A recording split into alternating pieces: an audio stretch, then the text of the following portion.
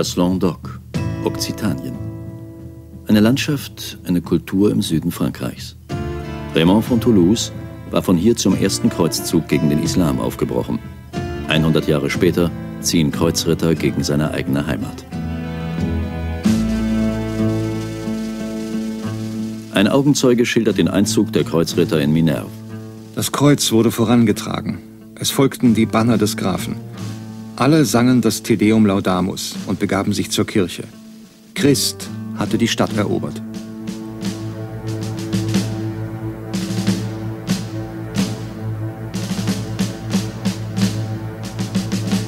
Was noch geschah, wird hier nicht vergessen.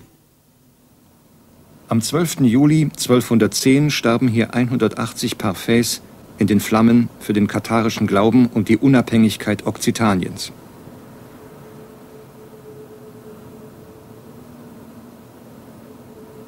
Der Chronist schildert die näheren Umstände.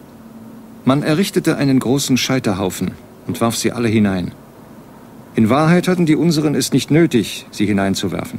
Sie stürzten sich selbst ins Feuer. So sehr beharrten sie auf dem Bösen.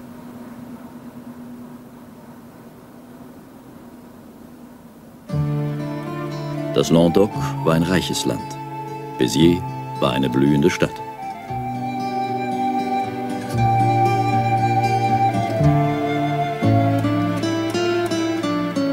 Am 22. Juli 1209 stürmt ein Kreuzzugsheer aus Nordfrankreich die Stadt Béziers nach kurzer Belagerung.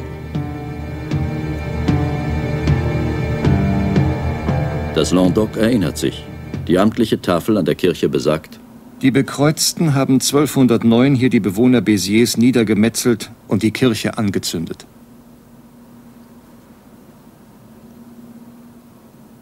Gleich nebenan wird mitgeteilt. Nach dem Sieg der Barone aus dem Norden flüchteten die Bewohner von Béziers in die Kirchen, wo die Bekreuzten ein Blutbad unter ihnen anrichteten. Der 22. Juli blieb als Tag des großen Gemetzels in der Erinnerung bewahrt.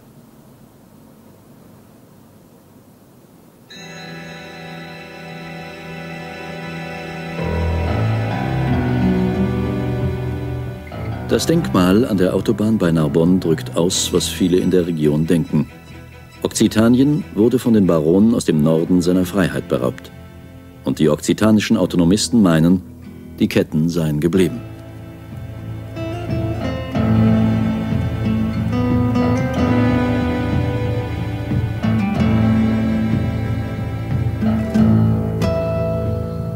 Menschen verbrannten, Städte und Burgen. Die Namen lösen hier noch immer Trauer und Zorn aus. Béziers, Carcassonne, Minerve, Lavore, Lastour, Marmande, Albi, Mirepoix, Montségur. Was hat diese Region so erbarmungslos heimgesucht? War es ein Eroberungskrieg, ein Glaubenskrieg, eine Ketzerverfolgung oder alles zusammen? Der Chronist der Kirche, der Augenzeuge Pierre de Vaux de Cernay, hat das Ereignis benannt. Der Kreuzzug gegen die Albigenser.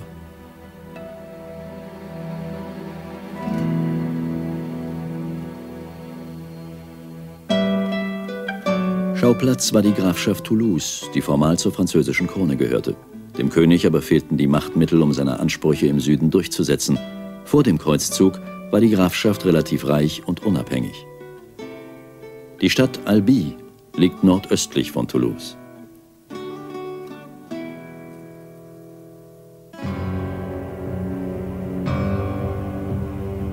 Die Kathedrale von Albi wurde nach dem Kreuzzug gebaut. Sie ist wehrhaft, eine Ermahnung für alle Abtrünnigen, die Ketzer, die Heretiker. Wenn die Kirche ihrer nicht durch Predigt Herr werden konnte, war sie bereit, auch Gewalt anwenden zu lassen. Das Gebäude atmet den Geist, der zum Kreuzzug gegen die Albigenser führte.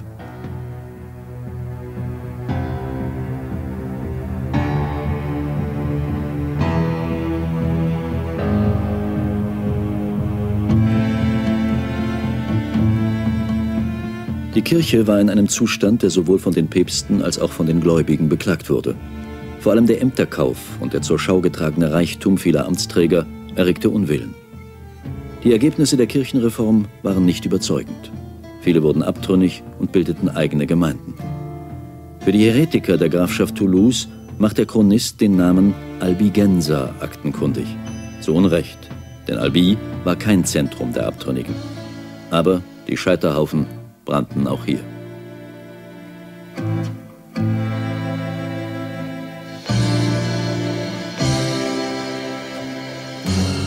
Darstellung der Höllenqualen in der Kathedrale von Albi. Solche Androhung blieb bei den Albigensern wirkungslos. Für sie hatte die Verdammnis mit der Schöpfung selbst begonnen. Die irdische Welt war für sie das Werk des Satans. Sie nannten sich selbst Bonhomme, gute Menschen. Später bezeichnete man sie auch als Katharer, wohl nach Kathari, die Reinen. Da alles Irdische sündhaft war, lehnten die Katharer das Sündenbewusstsein ab und die Hölle schreckte sie nicht mehr. Sie verachteten die Sakramente, zahlten den Kirchenzehnten nicht und ließen Frauen für das Priesteramt zu. Die bestehende Ordnung sieht sich gefährdet und droht nun mit dem irdischen Strafgericht.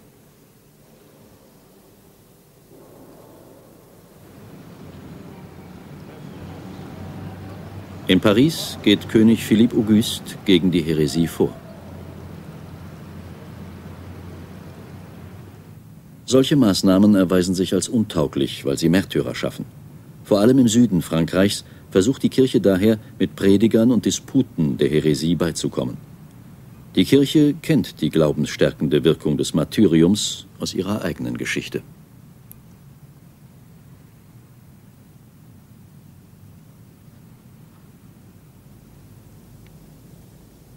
Saint-Félix, östlich von Toulouse, kann 1167 ein Konzil der katharischen Kirche tagen.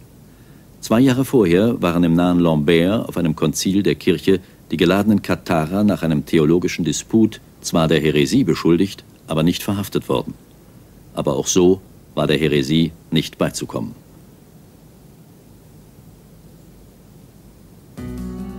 Die weltlichen Herren des Languedoc tolerierten weitgehend die katharische Kirche. Einer der mächtigsten war Troncavel, Vizegraf von Carcassonne.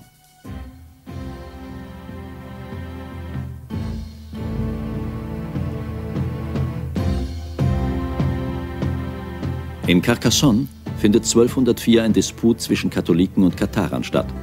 Erneut werden die Katharer der Häresie schuldig gesprochen, aber nicht bestraft. Troncavel, der junge Vizegraf, ist zwar selbst kein Katharer, duldet aber einen katharischen Bischof. In den Augen der Kirche ist Carcassonne ein Bollwerk der Häresie.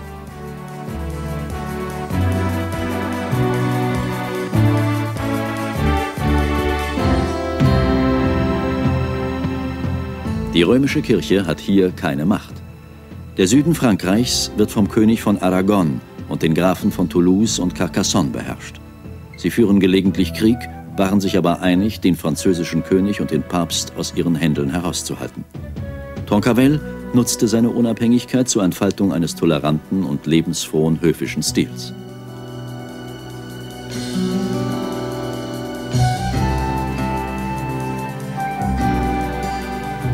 Troncavels höchster Beamter war zum Missfallen des Papstes ein Jude. Und was die von Troncavel geschätzten Troubadoure über die Liebe zum Besten gaben, war vom ritterlichen Ethos geprägt, nicht vom kirchlichen Dogma.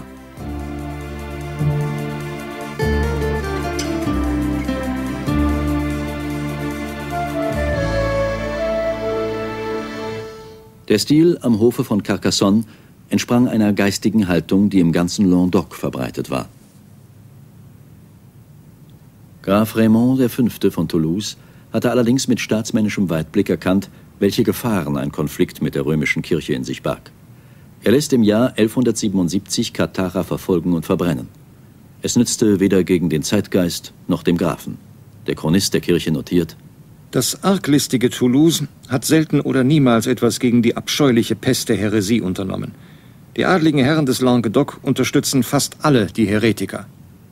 Der Ton der Mitteilung lässt erkennen, dass es Anfang des 13. Jahrhunderts ernst wurde. Die Zeit war reif für Maßnahmen gegen Toulouse. Vor 500 Jahren hatte es den Arabern und Mauren getrotzt. Nun drohten ihm christliche Heerscharen.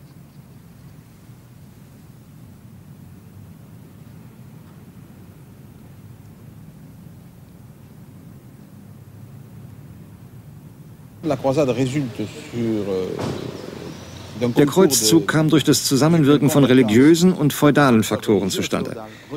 Besonders Papst Innozenz III. hielt religiöses Abweichen für unerträglich, sowohl bei den Katharern als auch bei den Juden. Ebenso wenig ertrug der Papst die nachlassende Moral des katholischen Klerus im Languedoc. mœurs assez relâchées du clergé orthodoxe en Languedoc. Le deuxième aspect de féodal der zweite, der feudale Aspekt war der Appetit der Barone des Nordens, die einen Drang nach Süden hatte. Besonders für nicht erbberechtigte junge Adlige war es verlockend, sich dort ein Lehen anzueignen. Man kann sagen, dass eine Anzahl der Barone des Nordens tatsächlich ein materielles Interesse am Süden Frankreichs hatte.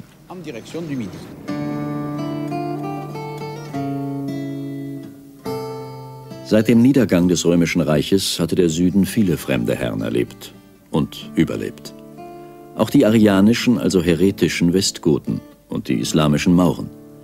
Anfang des 13. Jahrhunderts kündigten sich neue fremde Herren an, diesmal im Namen des rechten Glaubens.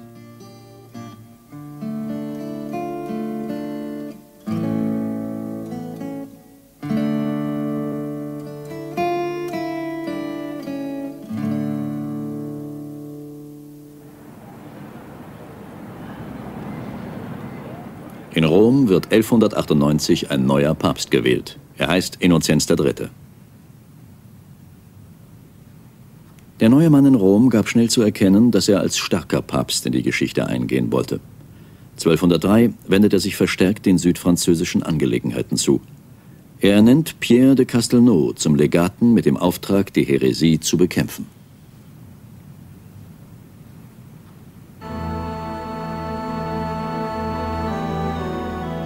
Der Legat Pierre de Castelnau aus dem Zisterzienserkloster Fontfroide versucht es zunächst mit Predigten bei den Heretikern und Zureden beim prassenden Klerus. Wie andere vor ihm, ohne Erfolg. Als Hauptursache der Häresie macht der Legat schließlich Raymond VI., den Grafen von Toulouse, aus. Er wirft ihm vor, die Heretiker zu fördern, statt sie zu verfolgen. Im Jahre 1207 exkommuniziert der Legat den Grafen. Rechtlich wird dieser dadurch vogelfrei und besitzlos. Aus den Pflegestätten des Geistes kommt nun die Androhung von Gewalt. Der exkommunizierte Graf trifft 1208 mit dem Legaten in seinem Stammsitz in Saint-Gilles zusammen. Raymond erklärt sich bereit, die Häresie aktiv zu bekämpfen. Die Zugeständnisse reichen dem Legaten nicht aus. Der Graf bleibt aus der Kirche ausgeschlossen.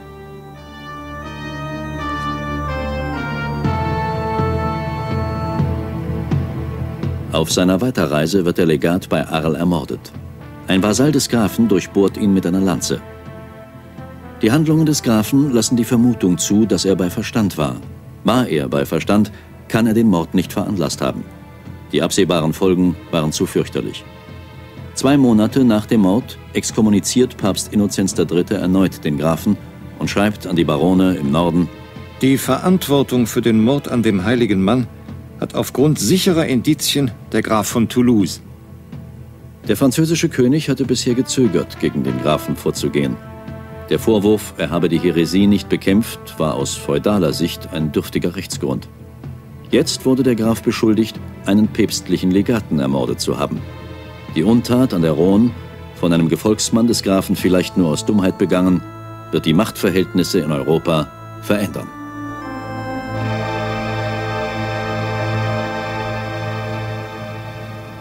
Der Papst fordert die Feudalherren im Norden auf, Widmet euch der Vernichtung der Häresie mit allen Mitteln, die Gott euch eingibt. Seid gewissenhafter als bei den Heiden, denn sie sind gefährlicher. Jagt den Grafen und seine Komplizen aus den Zelten des Herrn. Nehmt ihnen das Land weg und gebt es guten Katholiken anstelle der ausgerotteten Heretiker. Zustimmung erfolgt von den Orden. Der Abt von Citeaux äußert zum Papst, Lasst in Frankreich und der ganzen Welt den Ablass verkünden. Wer das Kreuz nicht nimmt, soll nicht mehr das Recht haben, Wein zu trinken und am Tische zu essen. Und wenn er stirbt, anders begraben zu werden als ein Hund. Der Papst macht den Abt zum kirchlichen Anführer des Kreuzzuges mit den Worten Führt die Armeen gegen das bösartige Volk im Namen von Jesus Christus.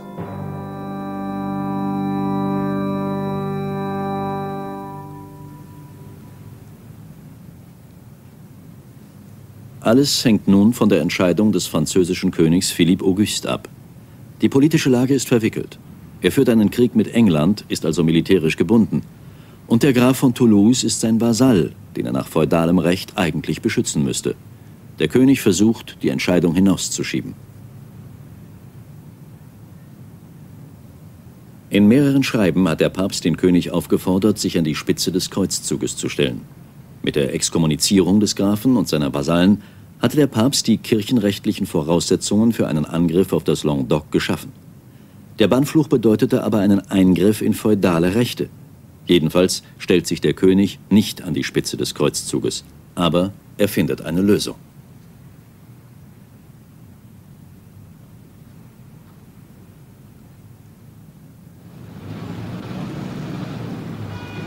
In Villeneuve bei Paris trifft der König mit dem Anführer des Kreuzzuges, dem Abt von Citeaux, und einigen bedeutenden Fürsten zusammen. Der König lehnt es erneut ab, den Kreuzzug anzuführen. Begründung, er sei auf beiden Flanken von gefährlichen Löwen bedroht, dem König Johann von England und dem sogenannten Kaiser Otto. Daher müsse er im Norden Frankreichs bleiben. Und doch wird hier in Villeneuve der Kreuzzug besiegelt.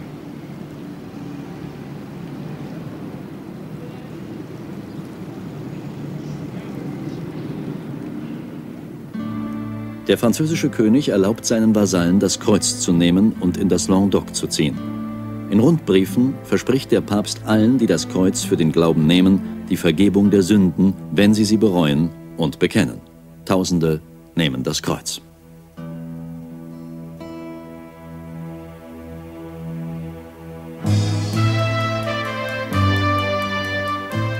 Die Lage ist für den Grafen von Toulouse bedrohlich geworden.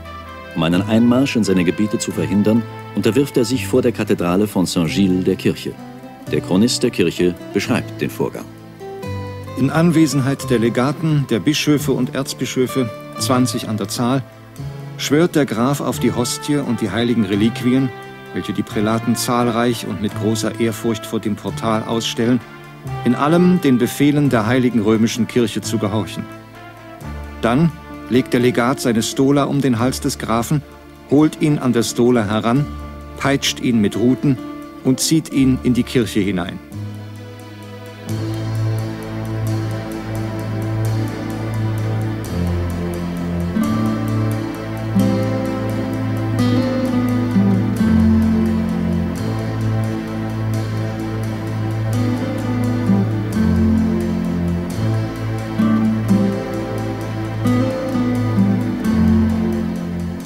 Wegen einer großen Menschenmenge kann der Graf die Kirche nicht auf dem Weg verlassen, den er beim Betreten benutzt hat. Er muss daher in die Krypta hinabsteigen und nackt am Grab des allerseligsten Märtyrers, des Bruders Pierre de Castelnau, vorbeigehen, dessen Mord er veranlasst hat.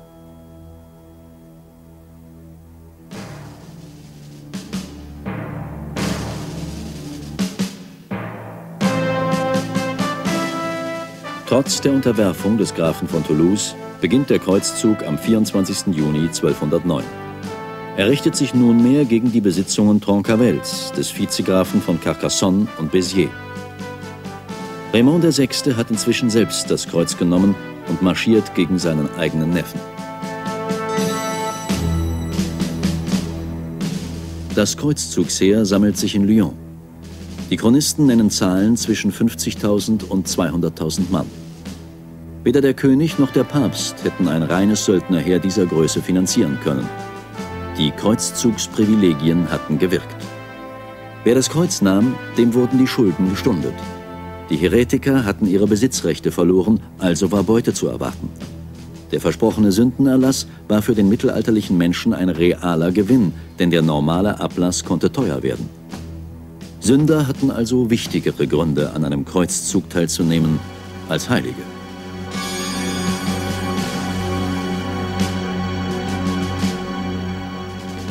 Am 22. Juli 1209 steht das Heer vor Béziers. Vor der Stadt hatten sich nicht nur Heilige versammelt.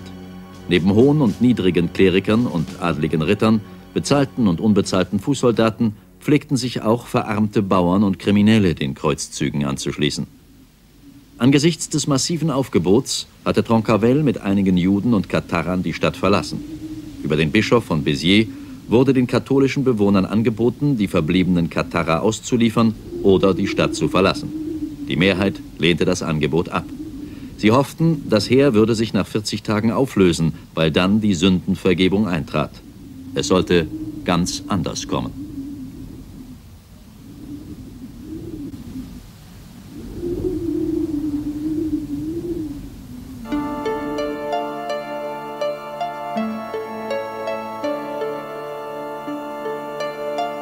Der zweite zeitgenössische Chronist des Kreuzzuges ist Guillaume de Tudel. Vom Verstand her ist er Katholik, aber sein Herz schlägt auf der Seite des Languedoc. Tudel hat in Versen geschrieben. Sein Chanson gilt als gute historische Quelle. Er beschreibt die Einnahme von Béziers. Im Handgemenge dringen sie ein in die Stadt. Gezwungen sind die belagerten Mauern und Wall zu verlassen. Frauen und Kinder nehmen sie mit sich. Sie eilen zur Kirche und läuten die Glocken. Niemand kann sie mehr schützen.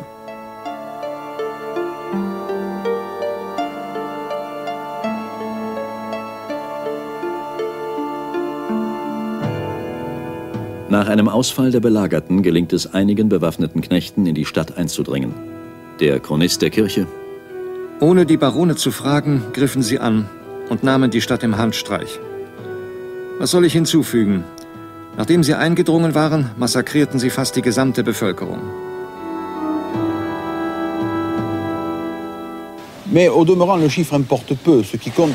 Die Zahl der Toten ist von geringer Bedeutung, ob es 12.000, 15, 50 oder 100.000 waren.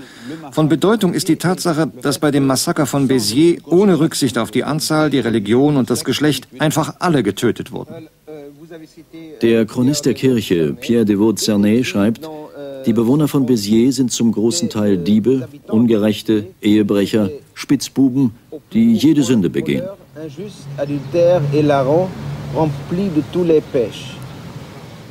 Was sagen Sie dazu?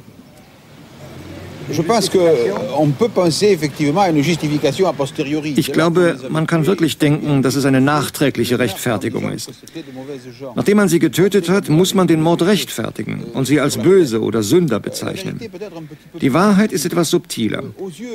In der Sicht strenger Kleriker oder der Barone des Nordens waren die Bewohner von Béziers dem Lebensgenuss ergeben.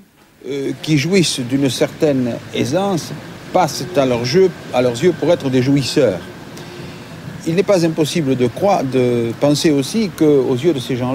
Die Bewohner von Béziers verstanden sich gut mit den Juden und Katharern und Parfais, ihren Priestern, bis zu dem Punkt, sie zu beschützen und sie ins Haus zu lassen, wie zum Beispiel der Vizegraf Trancavel.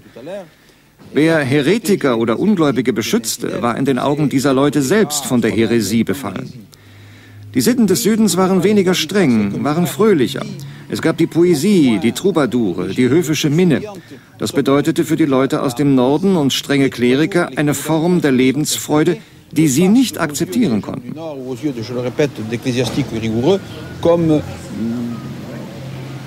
déjà une, une forme de jouissance qu'ils ne peuvent accepter. Guillaume de Tudel beschreibt Einzelheiten. Auch wer in die Kirche geflüchtet wurde, getötet. Nicht das Kreuz rettet ihn, der Altar, der Gekreuzigte. Die Priester werden von tobenden Knechten getötet, die Frauen und Kinder. Niemand, glaub ich, entkam.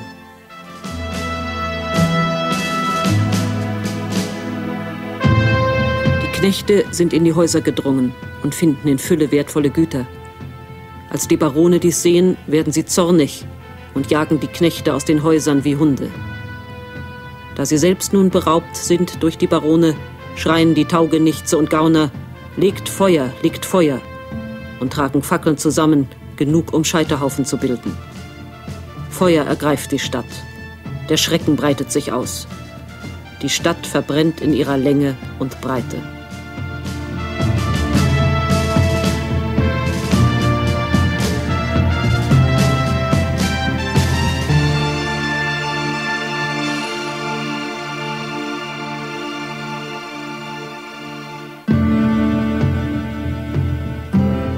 Am 1. August steht das Kreuzzugsheer vor Carcassonne.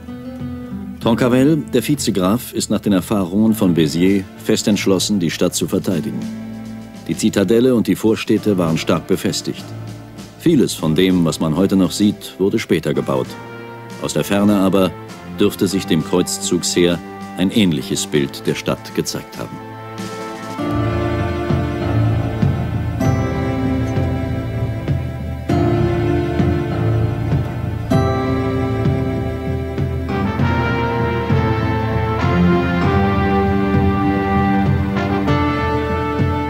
Der Chronist der Kirche beschreibt die Kämpfe.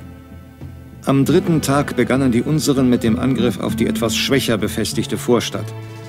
Bischöfe, Äbte und Priester sangen mit großer Hingebung zusammen das Komm, Heiliger Geist. Daraufhin verließen die Feinde ihre Stellungen. Am zweiten Tag erfolgte der Angriff auf die zweite, stärker befestigte Vorstadt. Sie verteidigten sich mit einem solchen Mut, dass die unseren sich unter einem anhaltenden Hagel von Steinen aus dem Graben zurückziehen mussten. Nun brachten die Bekreuzten Steinschleudern in Stellung, um die Mauern zu zerstören.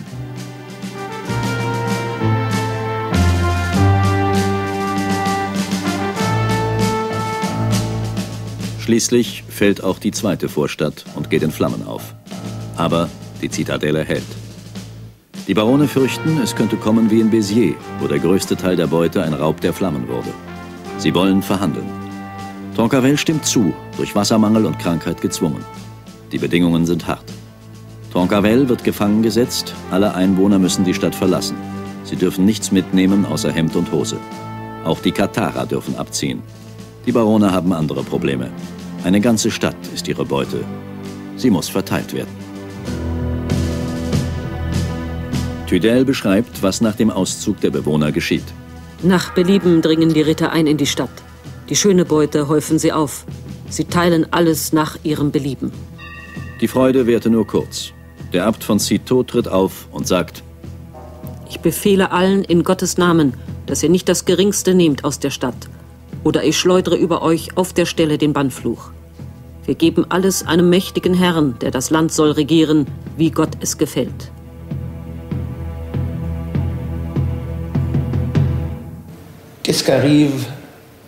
Was geschieht in Carcassonne nach dem Sieg der Kreuzarmee? Eh Etwas sehr Bedeutendes geschah. Der Graf Troncavel war das erste Ziel des Kreuzzuges gegen die Adligen, die die Heretiker unterstützten. Der Graf von Toulouse hatte sich ja unterworfen. Troncavel wurde als Heretiker ins Gefängnis geworfen und starb dort im Herbst unter mysteriösen Umständen. Da er exkommuniziert war, weil er Heretiker unterstützte, war es rechtmäßig, ihm seine Besitzungen wegzunehmen.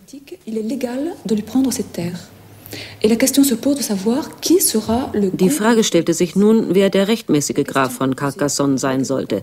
Diese Frage wurde vom Legaten des Papstes an die bedeutendsten Barone gestellt. Sie lehnten alle ab. Man hat den Eindruck, dass sie es nicht wagten, sich einen Besitz anzueignen, der einem großen Baron gehörte, der trotz allem Christ war. Alle lehnten ab. Der Herzog von Burgund, der Herzog von Flandern. Ein kaum bekannter Adliger nahm schließlich an, Simon de Montfort. Kein ganz kleiner Baron, denn er hatte auch Besitzungen in England. Er nahm es an. Nach der Einsetzung des neuen Grafen von Carcassonne löste sich das Kreuzzugsheer auf. Größere Beute stand nicht mehr aus und die 40 Tage zur Erlangung der Sündenvergebung waren vergangen. Nur wenige Ritter blieben bei Simon de Montfort. Mit Carcassonne hatte er einen leicht zu verteidigenden Stützpunkt erobert. Das Languedoc aber war längst nicht besiegt.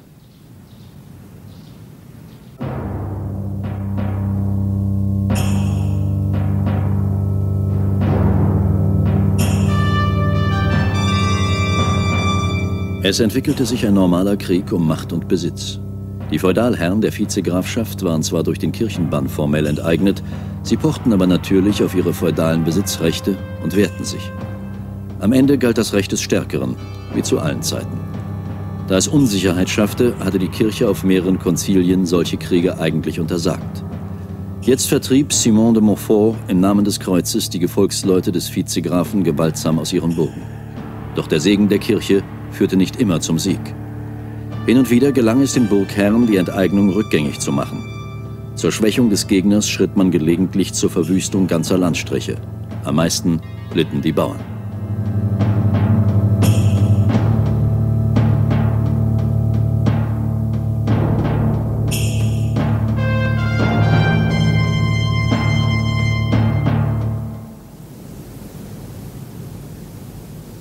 Im Juli 1210 belagert das Kreuzheer die Stadt Minerve.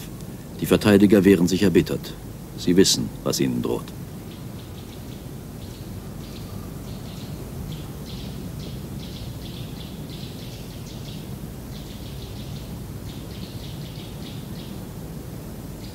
Als es zu Verhandlungen kommt, ordnet der Abt von Citeaux an, alle Bewohner der Stadt seien zu verschonen, auch die Katharer, falls sie bereuen und zur Kirche zurückkehren. Als jemand befürchtet, die Katharer würden aus Angst nur zum Schein bereuen, sagt der Abt: Fürchtet euch nicht. Ich glaube, nur wenige werden sich bekehren lassen. Der Abt sollte Recht behalten. Nach der Übergabe der Stadt lehnten die Priester und Priesterinnen der katharischen Kirche es ab, ihrem Glauben abzuschwören. Nach Angaben des Chronisten verbrannten mindestens 140 Menschen auf dem Scheiterhaufen.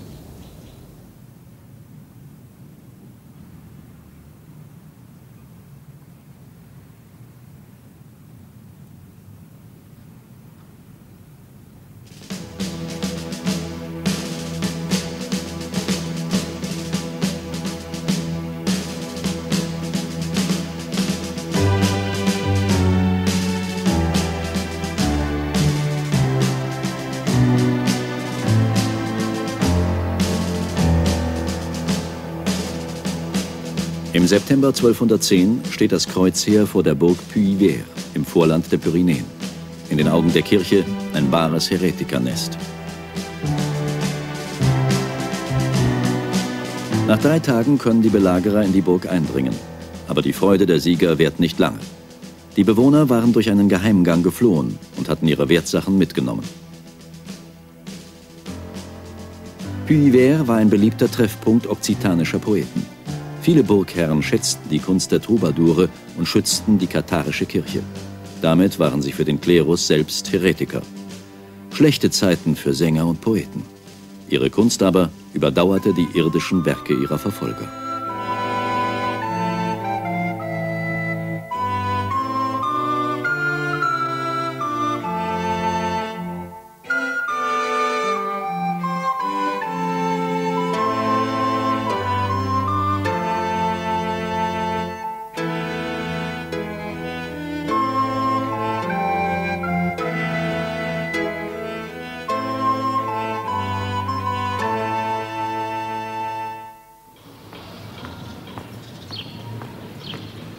Im Mai 1211 wird die Stadt Lavaux erobert. Der Chronist der Kirche notiert, was mit den Unterlegenen geschah. Emery und 80 seiner Ritter wurden aus der Stadt geführt. Der edle Graf entschied, dass sie alle gehängt werden sollten. Sie wurden schneller getötet, als man es erzählen kann. Die Herrin von Lavaux, eine abgefeimte Ketzerin, wurde in einen Brunnen geworfen. Zuletzt verbrannten die Bekreuzten mit größter Freude eine Unzahl von Heretikern. 400 verbrannten in Lavaux. Die Häresie aber blieb. Ihre sozialen Ursachen konnten mit Feuer und Schwert nicht behoben werden. Diese Ursachen lagen weit zurück.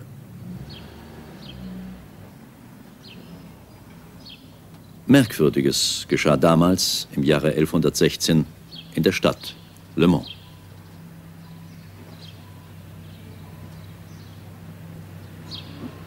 Ein Mönch namens Henri erhält vom Bischof die Erlaubnis, die Fastenpredigt zu halten und begibt sich auf eine Reise. Der Mönch hat offenbar in seiner Predigt ausgesprochen, was viele ohnehin über die Kirche dachten. Jedenfalls fand der Bischof bei seiner Rückkehr die Stadt im antikirchlichen Aufruhr. Nur mühsam konnte die Ordnung wiederhergestellt werden und Henri wurde aus der Stadt gejagt. Die Kritiker der Kirche trugen alle das Mönchsgewand. Niemand konnte wissen, ob sie im Auftrag der Kirche predigten oder nicht. Die offiziellen Kritiker waren vom Papst beauftragt, die Gläubigen gegen macht- und geldgierige Kirchenfürsten zu mobilisieren. Die Prediger der Kirche kamen also im einfachen Gewand daher und predigten von der Seligkeit der Armut. Die Leute hörten das gerne.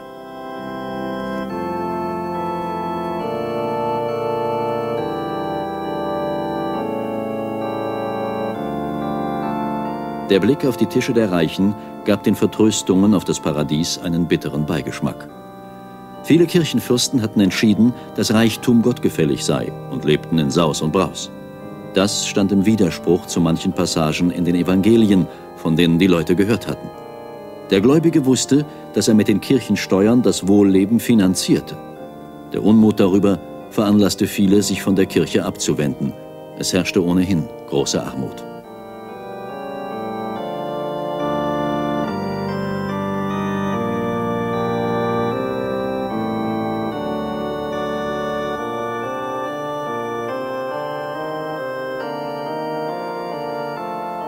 Die Anbaumethoden waren im 11. Jahrhundert verbessert worden.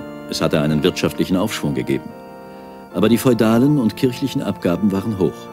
Wer arm geboren wurde, blieb es auch. Die Sehnsucht nach dem Paradies und das Sündenbewusstsein waren tief eingepflanzt. Doch der Zugang zum Himmel erschien nur für Heilige kostenlos. Die Dienste der Kirche und der Sündenerlass waren für viele unbezahlbar. Mönche, die selbst arm waren und von der Seligkeit der Armut predigten, hatten daher großen Zulauf. Die katharische Kirche aber bot mehr als Sündenvergebung. Ein Leben ohne Sünde.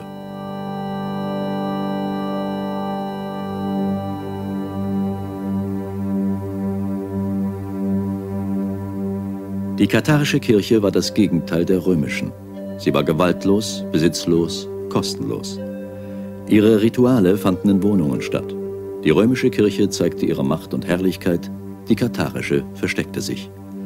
Es war eine Untergrundkirche wie die urchristliche und ebenso schwer zu bekämpfen.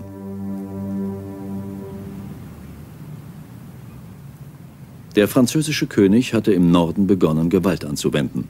Der Export dieser Methode in den Süden hatte nicht den erhofften Erfolg. Die katharische Kirche war nach zwei Jahren längst nicht zerschlagen.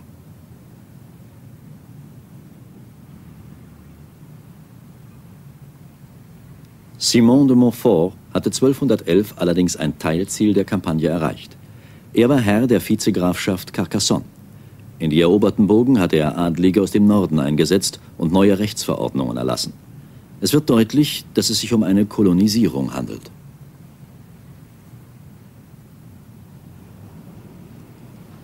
Nach ihrer inneren Logik ist das eigentliche Ziel der Unternehmung Toulouse. Aus der Sicht der Kirche ein Zentrum der Häresie aus der Sicht Montforts die reichste Stadt des Südens. In Toulouse aber residiert seit seiner Versöhnung mit der Kirche völlig legal und unangreifbar Graf Raymond VI. Die Unternehmung kommt ins Stocken.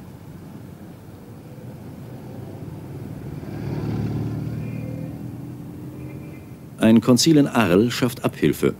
Dem Grafen von Toulouse wird Verrat vorgeworfen. Man stellt ihm unannehmbare Forderungen. So soll er auf alle Steuereinnahmen verzichten und nach Palästina ziehen. Er lehnt erwartungsgemäß ab und wird prompt wieder exkommuniziert. Der Krieg gegen den Grafen kann beginnen.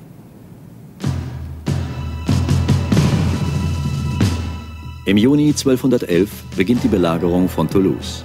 Simon de Montfort hat nicht genug Truppen, um die Stadt einzuschließen und muss die Belagerung aufheben. Graf Raymond wird diplomatisch aktiv und kann schließlich den König von Aragon als Bündnispartner gewinnen. Peter II. kommt mit einem großen Aufgebot nach Toulouse. Er wird begeistert empfangen. Die verbündeten Truppen aus Aragon und dem Languedoc treffen im September 1212 bei Muret auf das Kreuzzugsheer. Trotz zahlenmäßiger Überlegenheit verliert das Aufgebot der Verbündeten. Peter II. fällt in der Schlacht. Kurz vorher hatte er sich in Spanien bei einem großen Sieg über die Mauren bewährt und wurde als christlicher Held gerühmt. Es war bittere Ironie, dass er hier durch das Schwert eines Kreuzritters zu Tode kam. Mit der Niederlage bei Muret war der Traum von einem unabhängigen okzitanisch-aragonesischen Reich zu Ende.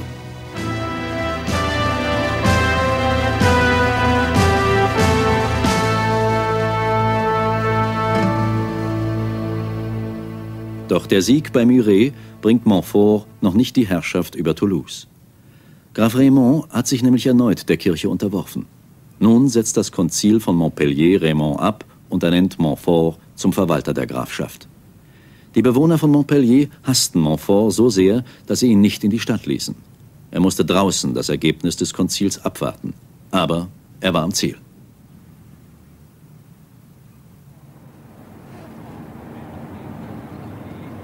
Ganz legal kann Montfort nun in Toulouse einziehen, zusammen mit Louis, dem Sohn des französischen Königs, der damit sein Kreuzzugsgelübde erfüllt. Von irgendeinem Jubel der Toulousaner ist bei dem Chronisten der Kirche nicht die Rede. Sie kamen als Eroberer, auch wenn sie in Gottes Namen kamen. Die Anwesenheit des Thronfolgers zeigt, dass die Krone auf Dauer hier herrschen will. Den Bewohnern wird befohlen, die Befestigungen abzureißen. Wenn Toulouse wehrlos ist, ist die Unabhängigkeit Okzitaniens verloren.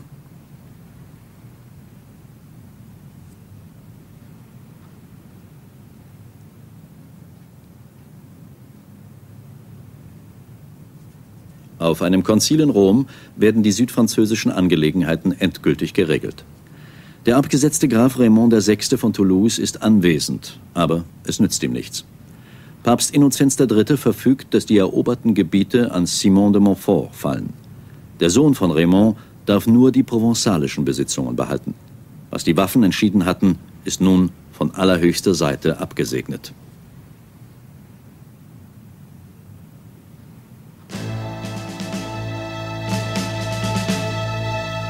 Vier Monate später landen Raymond VI. und sein Sohn Raymond VII. in Marseille. Damit verstoßen sie gegen die Auflagen des Konzils, nach denen Raymond VI. seine ehemaligen Besitzungen nie mehr betreten durfte. Ihre provenzalischen Untertanen jubeln, als seien der Papst und der König von Frankreich keine mächtigen Feinde. Mit der Landung in Marseille beginnt der Versuch des Grafen, seine feudalen Rechtstitel durchzusetzen. Das bedeutet, der Krieg geht weiter.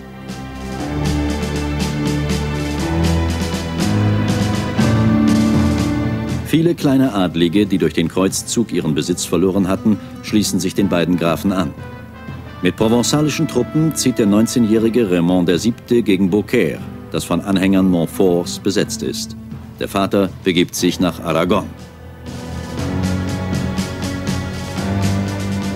Die Truppen des jungen Grafen belagern die Zitadelle von Beaucaire, bis Simon de Montfort mit Verstärkungen heranrückt.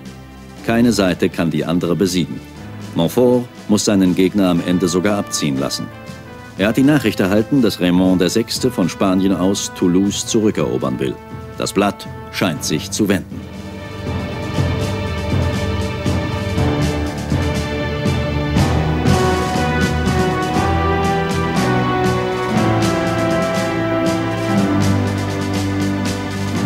Am 13. September 1217 zieht Raymond VI. in Toulouse ein während Montfort woanders Burgen erobert. Toulouse empfängt seinen Grafen wie einen Befreier. Gefangene Anhänger Montforts werden niedergemacht. Tudel beschreibt den Einzug von Raymond VI. Herbei eilen sie alle, große und kleine, Barone und Damen, Männer und Frauen. Sie knien vor ihm und bedecken mit Küssen seine Kleider und Beine, seine Arme und Hände. Der Kampf aber ist noch nicht ausgestanden. Das Heer Montforts zieht gegen Toulouse.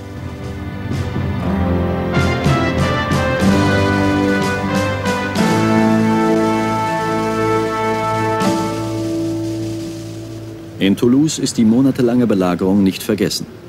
Diese Tafel erinnert an den Tod Montforts. Hier soll ihm ein Stein den Schädel zertrümmert haben.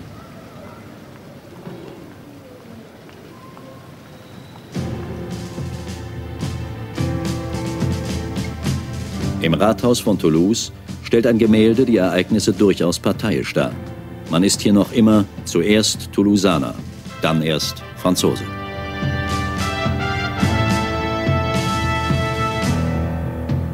Die Bevölkerung hatte in Erwartung eines Angriffs durch die Kreuzarmee in aller Eile die Befestigungen wiederhergerichtet. Monatelang hielten die Toulousaner stand, obwohl Simon de Montfort Verstärkungen heranführen konnte. Der Stein, der Montfort schließlich traf und die Belagerung beendete, soll von einer Frau geschleudert worden sein.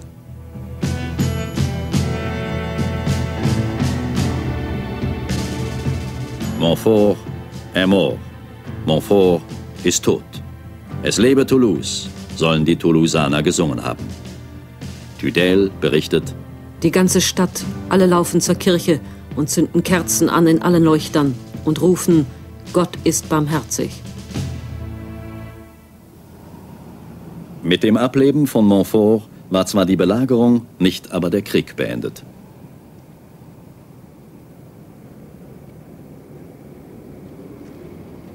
Juni 1219. 10.000 Bogenschützen und 600 Reiter stürmen Marmont.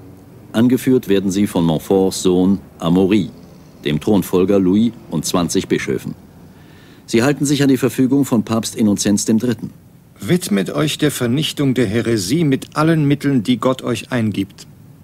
Obwohl in Marmont vorwiegend Katholiken wohnen, wird die Stadt zur Plünderung freigegeben. Tudel berichtet, Barone und Damen, die kleinen Kinder, Männer und Frauen, nackt und bloß in Stücke geschlagen mit blutigen Schwertern. Rot glänzt der Boden, als sei Regen gefallen. Die Stadt versinkt in Feuer und Asche. Das Massaker von Marmont blieb nicht ungerecht.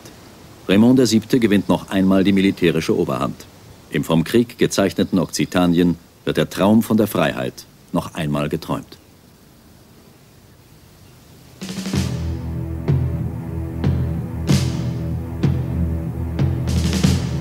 Der Traum dauerte bis 1226. Ein neuer Kreuzzug unter Führung des neuen Königs Louis VIII. machte deutlich, dass Krone und Kirche nicht nachgeben würden. Toulouse blieb zwar in den Händen von Raymond VII., aber die Scheiterhaufen brannten wieder und das Land wurde weiter verwüstet.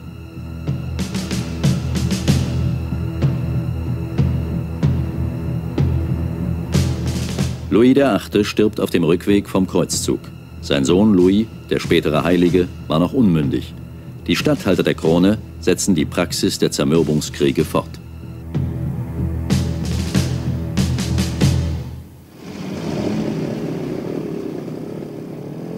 Obwohl militärisch nicht geschlagen, gibt Raymond VII. auf. Die Verhandlungen werden in Meaux bei Paris abgeschlossen. Der Graf muss auf seine provenzalischen Besitzungen verzichten, Gebiete im Norden an die Krone abtreten, seine Burgen und die Mauern von Toulouse schleifen. Und er musste sich verpflichten, endlich die Häresie zu bekämpfen. Nun war er wirklich aus, der Traum.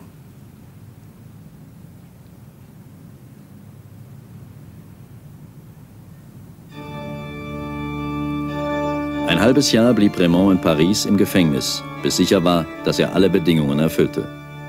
Die Krone war an ihrem Ziel die Kirche noch nicht. Kurz vor Ostern musste sich Raymond in Notre-Dame der Kirche unterwerfen. Die Zeremonie hatte schon sein Vater erlebt. Im Büßerhemd bekannte er die ihm vorgeworfenen Verbrechen. Dann vollzog der päpstliche Legat die Züchtigung mit der Rute. Das Volk von Paris jubelte.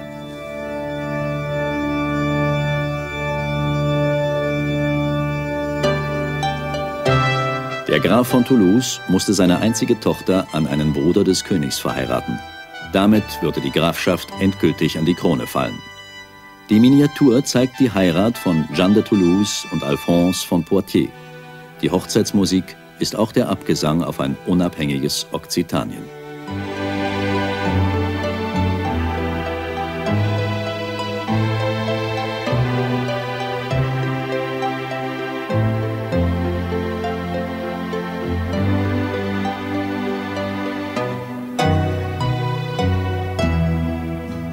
Die Häresie aber war noch immer nicht ausgerottet. Die Priester der katharischen Kirche wirkten im Untergrund und konnten sich auf einige entlegene Burgen am Pyrenäenrand stützen. Wie hier in Keribus gab es noch einige Burgherren, die die Katharer schützten.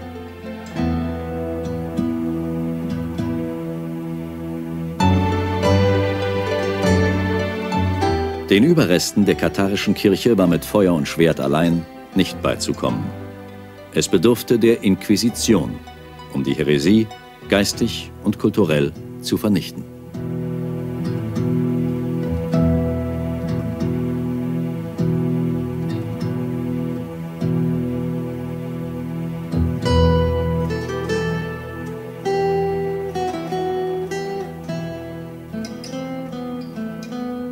L'Inquisition a joué un rôle primordial die Kreuzzüge hatten die Häresie nicht ausrotten können. Der Inquisition gelang es. Die Inquisition war die Reaktion der Kirche auf den Sieg der Waffen. In den Jahren 1230 bis 1233 setzte die Kirche eine sehr wirksame Polizei für religiöse Angelegenheiten ein, eben die Inquisition. Sie wurde den Franziskaner- und Dominikanermönchen anvertraut.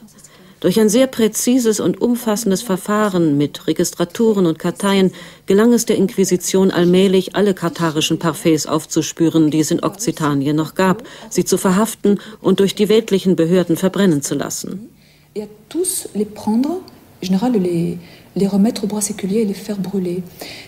Nach etwa 50, 60 Jahren hatte die katharische Kirche fast alle ihre Priester verloren.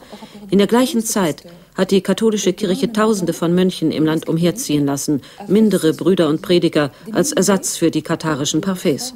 Sie sollten der katholischen Bevölkerung eine unmittelbare Form der Religionsausübung ermöglichen.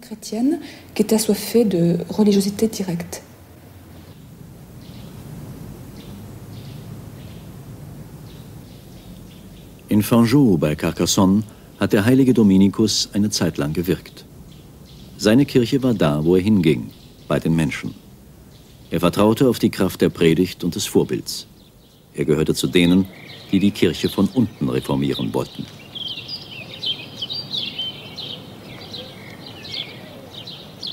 In dem Haus, in dem Dominikus arbeitete, ist ein kleines Museum eingerichtet worden. Hier erfährt man ungefragt, dass Dominikus nichts mit der Inquisition zu tun hatte.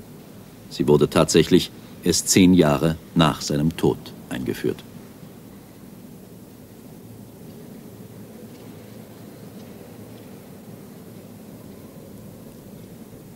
Dominikus zog als Armer zu den Armen, um ihnen zu predigen. Hier zeigt sich das Dilemma. Die Orden der minderen Brüder griffen die Weltlichkeit und Käuflichkeit in der Kirche an und hatten damit Erfolg. Damit aber bereiteten sie auch den Boden für die Häresie. Die Katharer predigten das auch. Die Geister, die die Kirchenreform geweckt hatte, mussten nun verfolgt werden. Die Frage stellt sich, ob der heilige Dominikus ein Inquisitionsverfahren überlebt hätte.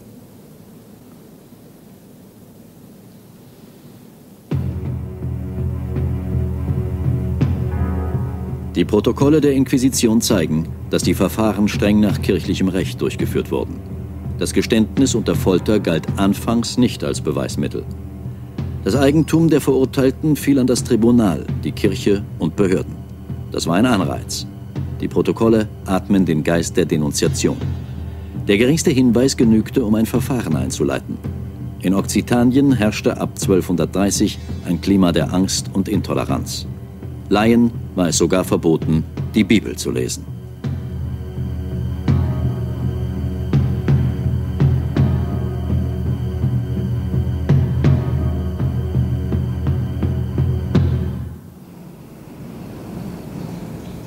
Der letzte Aufstand Okzitaniens beginnt mit der Ermordung der Mitglieder eines Inquisitionstribunals in Avignonnet zwischen Toulouse und Carcassonne.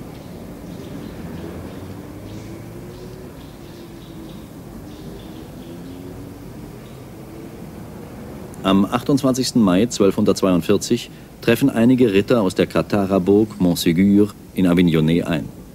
Sie planen zusammen mit einigen Mitverschwörern aus der Stadt die Ermordung der Inquisitoren.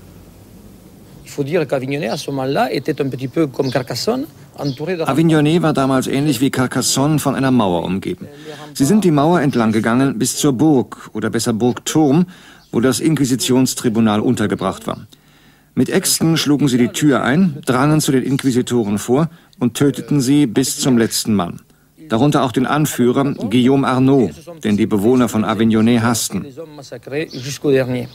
surtout sur leur chef, donc Guillaume Arnaud, qui était détesté par les gens d'Avignonnet. Euh, avec. Bei dem Massaker ist sicher ein Irrtum unterlaufen. Denn man hat auch die Diener umgebracht, die mit dem Tribunal nichts zu tun hatten. Sie sollten nur ihre Chefs bedienen.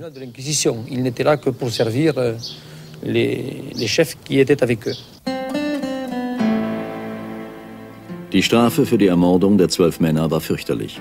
Die ganze Stadt wurde exkommuniziert und der Aufstand brach angesichts der militärischen Übermacht der Armee des französischen Königs Ludwig IX. zusammen. Es war der letzte.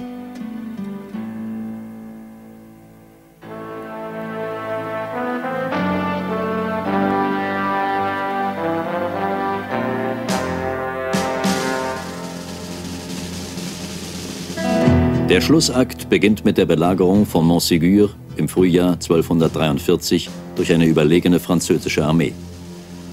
Von Raymond VII. ist keine Hilfe mehr zu erwarten. Er hat sich nach dem Aufstand erneut der Krone und der Kirche unterworfen. Trotzdem halten die Belagerten monatelang stand. Sie verteidigen den letzten Stützpunkt der katharischen Kirche.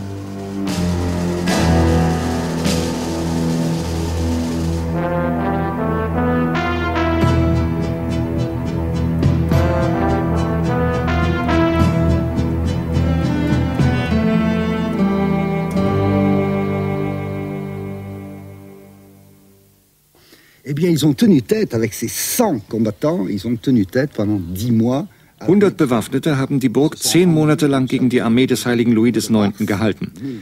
Anfang März 1244, 40 Jahre nach der Errichtung der Burg, haben sie sich ergeben. Die Inquisition, die sich bei den Soldaten des Königs befand, die Inquisition fragte wie üblich, ob unter den Parfaits jemand dabei sei, der abschwören wolle. Und wer nicht abschwören wolle, würde sofort dem Scheiterhaufen überantwortet. Nicht ein einziger hat abgeschworen. Sie verbrannten alle auf dem Scheiterhaufen. et pas un seul n'a abjuré, ils sont tous allés au bûcher. Mieux encore, il y a 20 personnes. Es kommt noch besser. 20 Personen, Ritter, Soldaten, Sergeanten, haben drei Tage vor der Verbrennung mit ihren Frauen das katharische Sakrament empfangen. Sie wussten, dass sie damit den Scheiterhaufen erleiden würden. So wurden 205, 210 katharische Gläubige verbrannt und die 20, die freiwillig den anderen auf den Scheiterhaufen folgten. Plus les 20 qui ont volontairement demandé à suivre les autres sur le bûcher. Dort, wo der Scheiterhaufen vermutlich brannte, wurde später ein Stein mit dem katharischen Kreuz aufgestellt.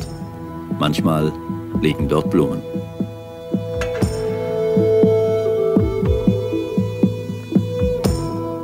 (1321) Im Süden Frankreichs herrschen die Krone und die Inquisition.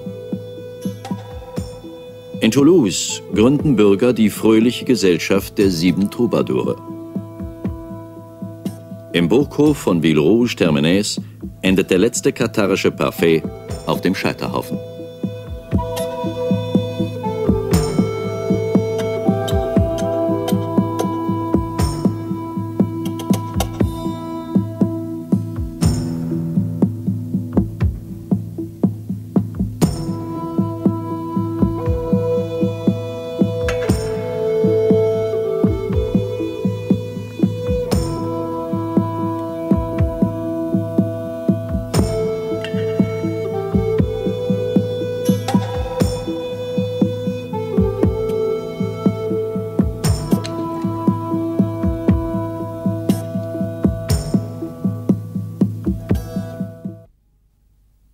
Buch zur Serie Die Kreuzzüge Krieg im Namen Gottes von Peter Milger ist im Buchhandel erhältlich oder kann dort bestellt werden